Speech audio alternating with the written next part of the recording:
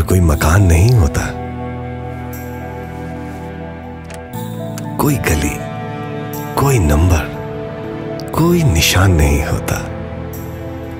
घर तो एक एहसास है, गम में, खुशी में, हर पल पास है।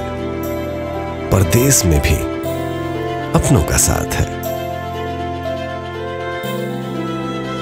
जैसे बैंक अल्फला और अल अंसारी एक्सचेंज, जो जानते हैं कि घर से दूर होना आसान नहीं, मगर पास होना मुमकिन है। कानूनी तरीके से अल अंसारी एक्सचेंज के ज़रिए यूएई से पाकिस्तान अपने प्यारों को पैसे भेजें और पाकिस्तान में बैंक अल्फला की 750 से जायद ब्रांचेज में से किसी भी ब्रांच से पैसे बसानी वसूल करें और साथ साथ जीते कीमती इनाम।